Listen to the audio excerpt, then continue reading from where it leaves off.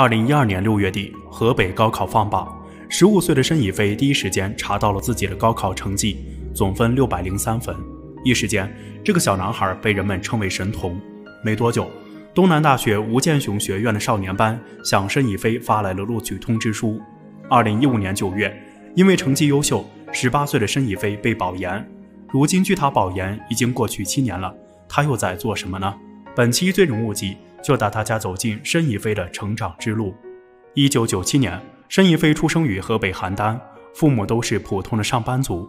作为家中的独子，申一飞自幼就被父母寄予厚望，所以随着申一飞的成长，他们也在实时制定着教育计划。两岁的时候，母亲就为申一飞买来识字卡，教他识字，同时父亲教他认识简单的数字。在此期间，他们还教申一飞背诵一些简单的古诗。或许是父母的家庭教育激发了申以飞异于常人的学习天赋。此后，他的学习速度就像坐了火箭一样蹭蹭上涨。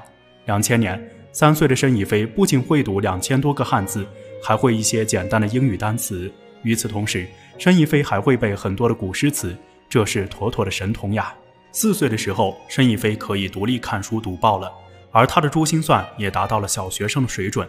此时的申以飞与同龄孩子相比，不仅天资聪颖，就连自律性也是别的孩子无法企及的。二零零二年，为了让孩子得到更好的教育，申以飞的父母将儿子送进邯郸市和平小学。虽然此时的申以飞只有五岁，但他却是班级里最瞩目的存在。无论是优异的成绩，还是他独立自主性，也是在迈入小学的那一年，申以飞开始接触儿童版的《红楼梦》。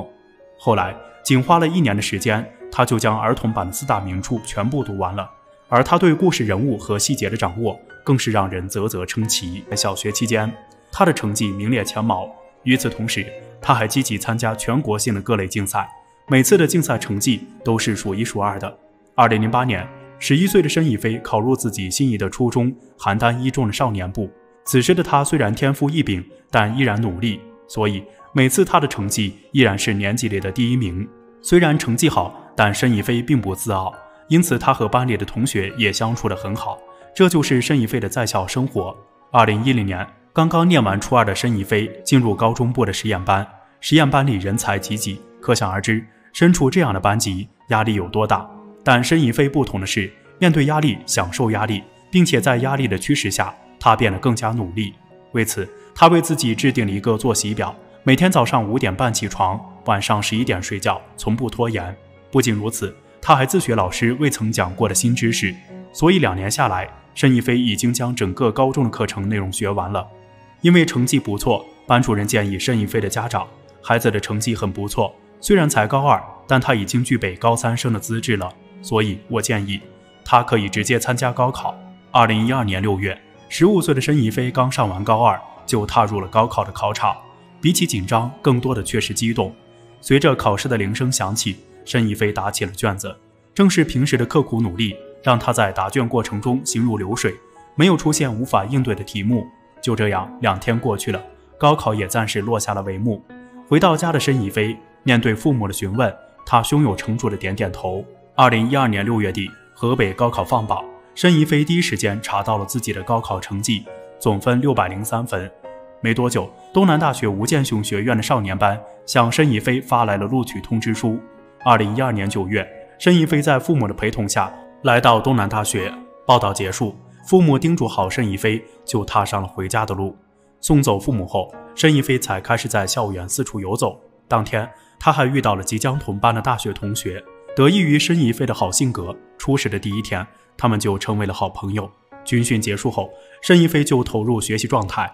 刚开始的时候，他适应的还行。在英才遍地的班级里，申一飞虽然不能名列前茅，但也处在中游偏上的水平。大学第一次期末考试中，申一飞的名次不仅没有提高，反而掉到了中下游的位置，这让从未受过挫折的他感到无比的沮丧。但是，更让申一飞沮丧的日子还在后面。二零一三年，申一飞在大二的一次期中考试中，基础物理和电路分析都挂科了。这意味着从小到大的优等生竟然考试不及格。看到自己的考试成绩，申一飞有些不敢相信。他不相信自己顺风顺水的学业路竟然遭受这样的滑铁卢。总之，各种各样的负面想法在申一飞的脑海中飞了一遍又一遍。整整一夜他都没有合眼。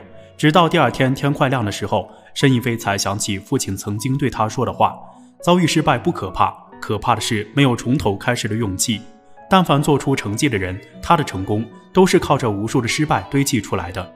这一刻，申一飞幡然醒悟，一味自责只会加剧情绪的内耗，他并不能改变现状。想通后，申一飞制定了一张时间表，然后就行动起来。此后，他待在宿舍的时间更短，除了上课，就是在自习室学习。